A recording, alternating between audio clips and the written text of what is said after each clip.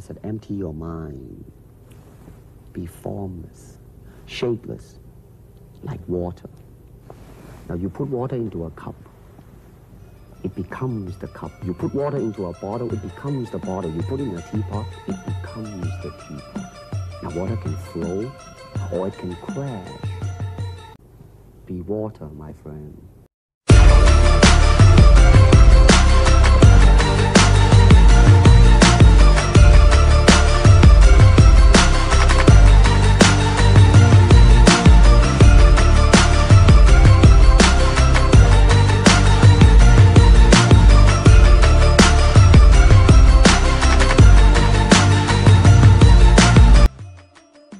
Might sound too philosophical, but it's unacting, acting, or acting, unacting. If you, I mean, it's a combination of both. I mean, here is the natural instinct, and here is control. You are to combine the two in harmony. Not if you have one to the extreme, you will be very unscientific. If you have another to the extreme, you become all of a sudden a mechanical man no longer a human being. So you, it is a successful combination of both.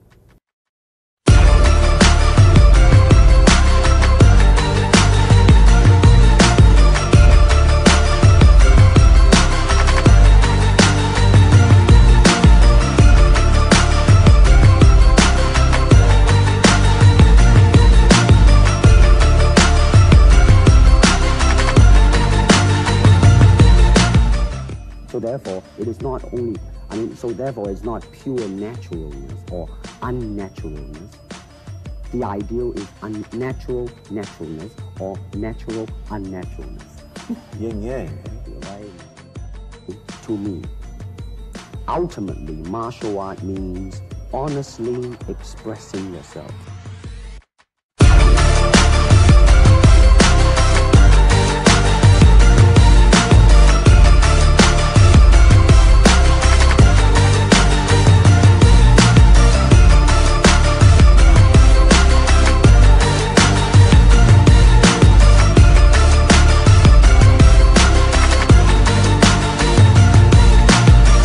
Oftentimes people come up and say, hey Bruce, are you really that good?